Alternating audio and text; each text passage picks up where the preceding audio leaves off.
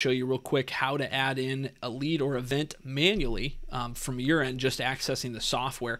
No matter how good your website is, there's always going to be customers that maybe just want to talk over the phone or they have a special event. You need to give them some different pricing, and you want to add that in on your end without them submitting it through an inflatable office website. So we'll just go over to events and we'll click on leads and events here.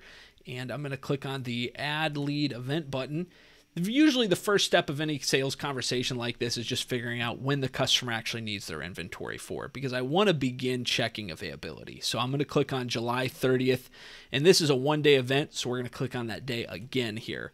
And we're going to set this from being from 2:30 p.m. all the way up until 6:30. I'm going to go ahead and click the apply button. So once I've done that, what we actually just did is now my whole inventory is showing real time availability and pricing. So from there, I can navigate just by scrolling this list. I could search in uh, an item name. So I just typed in joust and it popped up inflatable joust. Or I could look at a category. So maybe the customer just wants something from our water ride selection. I could click that. And then I could also search within this category. So there's a lot of ways to really quickly find what you're looking for here. And they just need one dolphin slide. So I'm going to go ahead and add that on there. And right away, we were given some pricing. So, whatever order you want to go in to collect the rest of the information is really up to you. And I can navigate these pages by clicking on these sections. It'll actually drag me down to that section. So, if I wanted to fill in the customer information, I could click on customer, and all it did was scroll me down the page to where I'm going to type in their info. Also, a good note is this can actually be reorganized. So if you don't like the way it's listed with event at the top and then the rentals and the payment information beneath, this can all be changed. That's no problem. Just let us know. We'd be more than happy to point you in the right direction. But I'm going to go ahead and fill out their info. And in this case, it's somebody I've actually worked with before. So it's Joel V. Johnson. And I can just click on his information. So that'll just autofill itself in. Now, Joel's going to have his event at his house. So the venue information, where the event is taking place, we're actually just going to want to copy the address from his customer record. So I'm going to click this button. This prevents me from having to enter it in all over again. And I'm going to select that we're going to be doing this event on grass. And this is just a regular drop off. And we'll just name this event birthday party. So I've got all that information filled in. So now that I have the venue information in there, it's actually going to be able to calculate what the delivery charge is for this event as well. Um, and really, I mean, I can add on additional information like customer notes or fill out any additional fields. We can go ahead and put an email on file since I didn't have that. And at this point, I'm ready to create this. So I can just go ahead and hit the save button and we can see we have quote selected. So we're not bumping it up into a contracted or confirmed event yet. I just need to get a quote out to Joel. So I've went ahead and saved it. Now at this point, if I have an auto email turned on, that email is actually going to get sent out to him and you would check to see that just by going over to our email center and that's covered in some of our other videos and documents. But for now, I'm going to manually email this email out to Joel. So I'm just going to click the email button and we want to send him our quote email. I'll go ahead and click on that and it fills itself out based off of that email template there. And I can go ahead and hit send.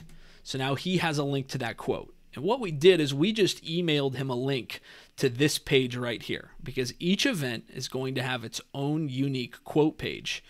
So I can click on that and it'll actually open it up I opened it up in a new tab here, and this is the link Joel will have been provided. So the benefit to doing it that way is if he calls in 15 minutes later and maybe wants to add on something else to the order, I'll uh, erase my search term here. Let's say he wanted to add a dunk tank onto the order and didn't know how to do it on this page just by clicking the edit button or adding the dunk tank on right here. I could actually do that over the phone for him. I click the dunk tank, add it on, and it's asking me if I want to change the teardown time to a new value because now that we have the dunk tank, that increases my teardown time. I'm going to go ahead and say, yep, we want to update that. And There we go. So it updated my setup and teardown time based off of the recommended amount there. And I'm going to go ahead and hit save again. So now when Joel comes back to this quote, he's able to see an updated order here. So if you have online booking turned on from this page, Joel could actually move forward on his own. So he could just click the book this event button and that'll take him over to where he could sign a contract and make a payment. Now, if I wanted to, I could upgrade this for him. Okay, so right now in the quote status, if I go down here and look at my contract link, we'll open this up in a new tab, it's telling me, you know, I don't have a, valid link. Well, the reason he can't get a contract is because he isn't in the correct status, which is this bar up here. So I could upgrade his status and hit save. And then I could email out our contract email, which will give him that link directly to the contract. Or Joel, from that quote, could actually hit the book this event button. And what our system's doing here is it's now upgrading his event to a contracted event and then giving him that link. Uh, so now he can move forward on his own, make a signature here, We'll punch in a phony name and we're going to have him agree to our terms. He's now signed off on that and he can issue a payment. So if I go back to his page here and I refresh it, I can see that he's moved along in the process. So he's been automatically upgraded to contract. I can see we put a flag on the event here, which notifies us that he did initiate a booking. If I'm done, you know, if I don't need that flag sitting around notifying me of that anymore, I can hit that X button and that'll zero that out so I won't have to see it next time. Now, throughout this whole process, I could have been receiving alerts if I wanted to.